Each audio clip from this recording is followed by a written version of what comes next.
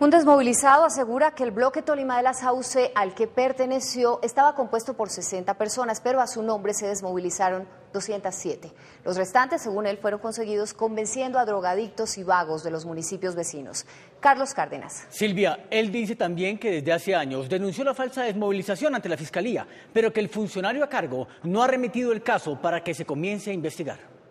En las últimas horas, este ex paramilitar del bloque Tolima de las Autodefensas denunció nuevamente ante la Fiscalía que fue una farsa la entrega de su organización. Definitivamente fue un montaje. Alias Eduardo dice que el 22 de octubre de 2005, en la hacienda Tao Tao en Ambalema, Tolima, se entregaron 207 paramilitares, de los cuales solo 60 eran reales, porque según él, los demás eran viciosos y habitantes de la calle que fueron reclutados por el jefe de esa organización, alias Daniel Boom, para hacer más importante la ceremonia de entrega. Personas que no tuvieran antecedentes, entonces entre ellos estaban ladrones, gente viciosa, gente desocupada, gente del campo, de ahí de los lados de San Luis. Le dijo a la fiscalía que el reclutamiento de las 147 personas que se hicieron pasar por paramilitares fue planeado seis meses antes por los jefes del bloque, un narcotraficante, un grupo de militares y funcionarios de la oficina del Alto Comisionado para la Paz. La primera reunión que se sostuvo estuvo el señor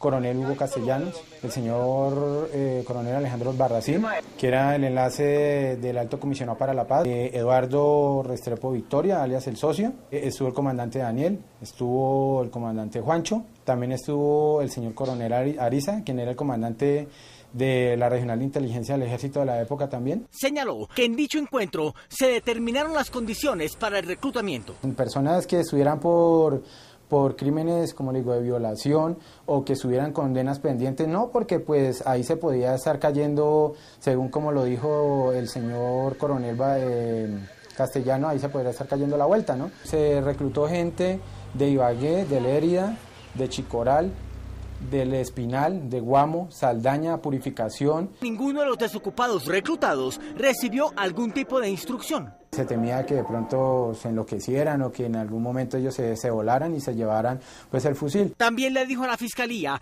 que los uniformes, las reatas y hasta los emblemas del bloque Tolima los entregaron miembros del ejército. Yo estuve, sí señor, en la fiscalía y ellos tienen conocimiento con respecto al caso. El ex paramilitar insiste que le dará más detalles a la fiscalía de la falsa entrega del bloque Tolima de las autodefensas.